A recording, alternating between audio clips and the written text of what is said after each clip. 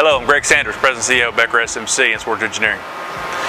Appreciate your time today. We're going to talk about something that uh, is near and dear to our heart. and It's called uh, Swartz Engineering.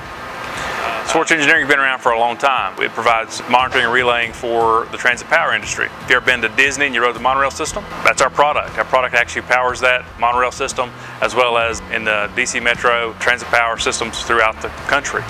But one of the products that uh, the industry standardized on is the Swartz Engineering product line and that was this former day is a 64 relay. It's a, it's a high resistance structure ground relay and it's in a draw out configuration. It also protects against transient, transient surge protection, detects AC and DC uh, structure faults. As you can see it's a draw out uh, version of this relay and it's done very simply, uh, makes the transition from a relay that maybe have an issue to a relay that, a brand new relay very simply and very quickly.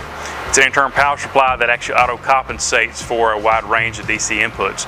As you well know, DC has a tendency to lose uh, its strength and power as, as the elongates in the, the voltage, but this actual relay actually auto-compensates for that. It also has a time delay that prevent uh, nuisance tripping. So if you rode any of the transit systems throughout the United States, you have been protected by our Swartz Engineering hot structure ground relay. We appreciate your time and be safe.